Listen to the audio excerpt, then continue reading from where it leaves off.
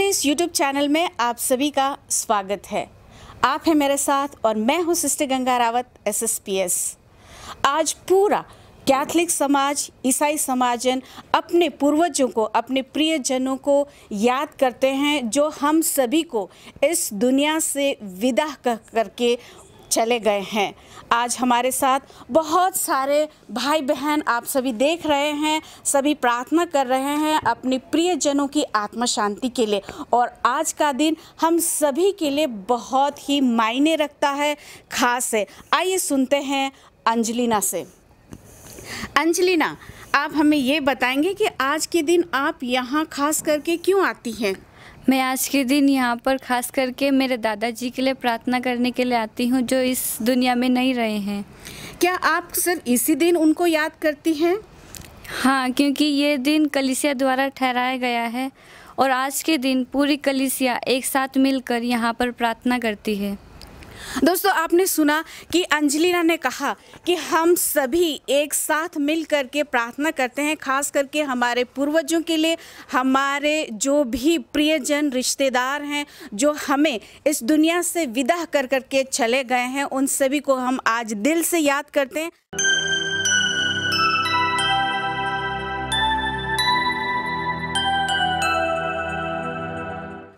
आज हमारे बीच में सिस्टर पुष्पा मौजूद है इस सेमेट्री में और मैं उनसे एक सवाल करना चाहती हूँ कि सिस्टर पुष्पा आप हमें ये बताएँगे कि आ, हमारे कैथलिक समाज में हमारे रीति रिवाज में हमारी प्रार्थनाओं में हम बोलते हैं कि हमारी जो हमारे जो रिश्तेदार हैं हमारे जो पूर्वज हैं वो काफ़ी समय तक उस कुछ समय तक सदक अग्नि में सदक अग्नि में रहते हैं और उनको हम पगटरी भी बोलते हैं। तो वो वहाँ पे क्यों रहते हैं और कितने समय के बाद वो स्वर्ग में पहुँचते हैं जो हमारा मानना है इस संबंध में आप हमें कुछ समझाएँगे बताएँगे?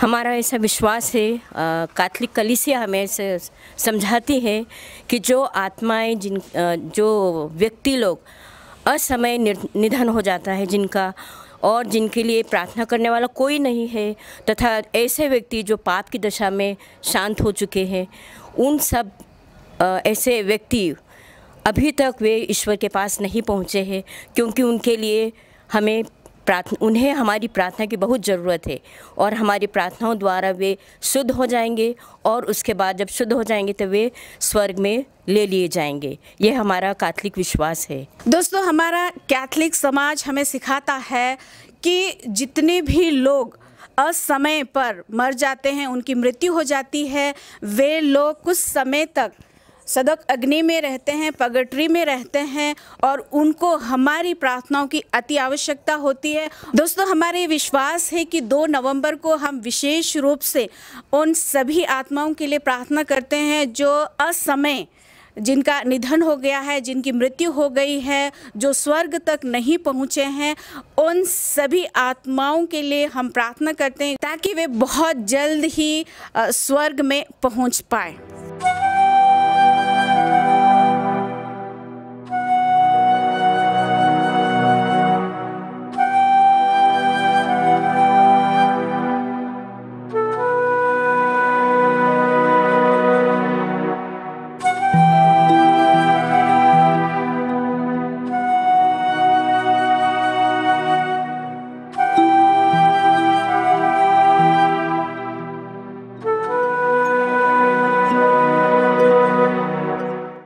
With us Sister Sheila.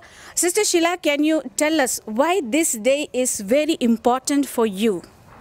This day is very important for me because uh, I gratefully remember all my beloved grandparents and relatives, those who have gone away from this world. And uh, we believe uh, that they are with God. Uh, yet we continue to pray for them they, so that they enjoy life with God. Friend, Sister Sheila has beautifully said that on this day we specially remember all our ancestors and we love them though they are not with us uh, physically but they are always with us, they inspire us, they continue to pray for us. And therefore this day is very important for each one, especially for Catholics.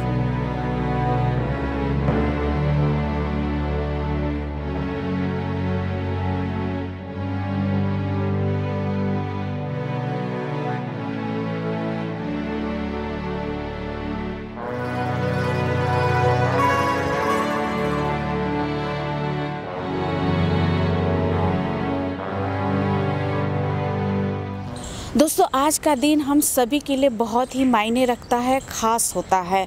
और आज के दिन को समझाने के लिए हमारे साथ फादर महेश है। फादर, आपका स्वागत है। आप हमें आज के दिन की महत्ता को समझाइए।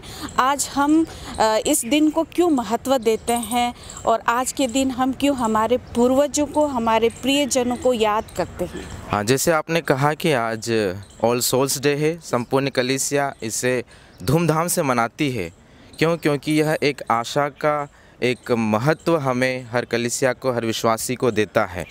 और जैसे हम लाइट को जलाते हैं या कैंडल्स को जलाते हैं वहाँ एक आशा होती है।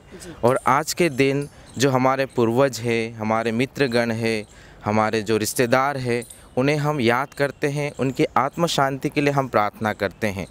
जैसे अ, हम बाइबल में पढ़ते हैं स्क्रिप्चर हमें याद दिलाता है एक्लेसियास्टस में कि it is better to go for the funeral than the feast so यह हमारे लिए एक यादगार होता है।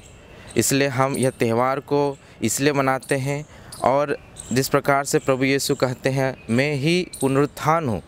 जीवन और पुनरुत्थान में हूँ। तो उस पुनरुत्थान में हम हर विश्वासी को शामिल करना चाहते हैं जो आत्माएँ प्रभु की आस में बैठी है या घूम रही है उसे हम प्रभु की ओर अग्रसर करने के लिए हम अपने प्रियजनों के लिए प्रार्थना करते हैं और आशा करते हैं कि वे भी पुनरुत्थान में स्वर्ग में प्रभु के साथ हो। फादर आज के दिन आप हम सभी लोगों को क्या संदेश देना चाहते हैं? आज का दिन हमें किस तरह से मनाना चाहिए? हाँ प्रश्न अच्छा है क्योंकि आज का दिन हमारे लिए जैसे मैंने कहा कि खुशी का दिन है। मेरा सभी से विश्वासी गणों से यही संदेश है कि आज के दिन हम उनके साथ शामिल हो। या शारीरिक रूप से हम उनके साथ शामिल नहीं हो सकते, लेकिन हम आत्मीयता से हम उनके लिए प्रार्थना करते हैं और इसी में जुड़े रहे ताकि हम न केवल उनसे अलग हो गए हैं, बल्कि हम उनसे जुड़े हुए हैं। हम देखते हैं कि मरने के बाद या कोई शांत हो गया हमारा भाई या बहन शांत हो जाने के बाद में हम देखते हैं कि बिल्कुल शारीरिक रूप से अलग हो चुके हैं। लेकिन यह ऐसा नहीं है। हम आत्मीय रूप से जुड़े हुए हैं इसीलिए हमारी जो विश्वास है जो हमें उनके पास ले जाता है। तो मेरा संदेश यही है कि हम उनके साथ जुड़े रहें ना केवल हम आज के दिन उन्हें याद करें बल्कि हमेशा जब भी हम प्रार्थना करते हैं हम उनके लिए प्रार्थना करें और उनके साथ हमेशा जुड़े रहें। फादर जी आपने हमें बहुत सुंदर तरीके से समझाया कि आज का दिन हम सभी के लिए क्यों खास होता है। आज के दिन हम हमारे सभी प्रियजनों को हम दिल से याद करें खास करके जो हमारे साथ नहीं हैं इस दुनिया से चल बसे हैं। दोस्तों इसी तरह हमारे साथ बने रहिए। हम आपके लिए और नए नए वीडियो लाते रहेंगे। अ, हमारे वीडियो को लाइक करें शेयर करें और सब्सक्राइब करना ना भूलें। शुक्रिया।